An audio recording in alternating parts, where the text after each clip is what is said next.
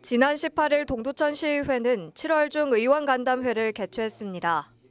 간담회에서는 동두천 청소년 수련관 설치 및 운영 조례 일부 개정 조례안과 놀자숲 조성 사업 최종 보고 등 15개 안건에 대한 설명과 함께 집행부와 의회관 심도 있는 의견 교환의 시간을 가졌습니다. 이날 논의된 안건들은 내달 개회 예정인 제266회 임시회에서 정식으로 다뤄질 예정입니다.